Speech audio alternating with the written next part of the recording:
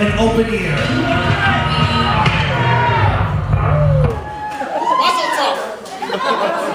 Good evening, everybody. For those who don't know me, I'm Andre.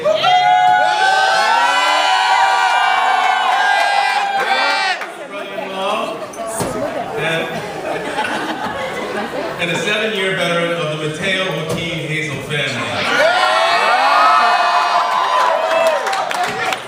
I was to meet Liza 15 years ago at, as a junior at Stony Brook University when I was basically trying to put the moves on her sister, Lorne. Larnie was her suite mate at the time, and I made every effort to impress Liza because her opinion of me was very important to my success with her sister. I'd often pick Liza up from her night classes just to walk her back from her dorm room, back to her dorm room, so I could chat with her about- the best way to win Larnie's heart. And after a semester had passed, we grew to be pretty close friends, and I figured out that Liza was a much better student than I am. And uh, so I determined it was easier to just take classes with her, so I could steal an answer here and there during exams. But I digress. It was those precious walks back to her dorm room that gave me insight to this wonderful family, and where Liza gave me her most sincere, sound, and often unfiltered advice. I believe it began with tips like, you know my sister could be very passionate, and by passionate I mean difficult. But patience and understanding will keep you two together. She was right, and after we graduated, uh, after we graduated, my relationship with Arnie grew. Liza's invalu- invaluable guidance continued with tips like, sometimes you just need to listen to her. There's no need to respond. And even in my weakest moments, whenever I followed her lead, it seemed to make the world a better place, both with Larnie and her family. I'm eternally grateful for those conversations as they've carried me through my marriage and eventually given us Lila and Lennox, the best looking flower girl in Rivera Island.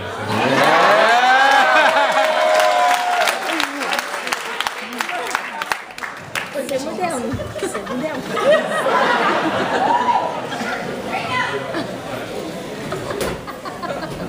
For many years, I had wished there was someone that could be worthy of the truly beautiful woman that's been such a rock in my life.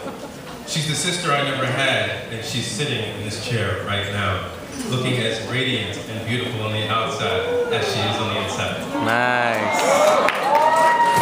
Smooth. It's like an R&B song right there. The past six and a half years, we put Was that those Harry's? from Nino's, for those who are not Filipino, Nino's our godparents, uh, Liza and Manny, every Tuesday night, where Liza is affectionately known in my house as Auntie Superstar. And on one Tuesday night, three years ago, Liza, staying true to form, was sharing her life-changing advice with Lila. It was something profound, like, you know, Lila, people with boogies don't have friends. And Liza's cell phone rang. And it wasn't this normal ring, it was this strange quack, quack, quacking sound. She ran off to another room, and all I could hear was laughter. And it was that day that I knew whoever that quack was on the other end of the line was truly someone special. Oliver, I want to welcome you and the rest of the Ocampo family to our family, and I wish you the same success in your marriage today as Mama Mo, Daddy Mo, Tita Jovi, and Tita Linda. And I know I've told you this before, but selfishly, I want a niece out of this marriage. but in all honesty, it's only so I can pass down Auntie Superstar's profound advice. L'chaim.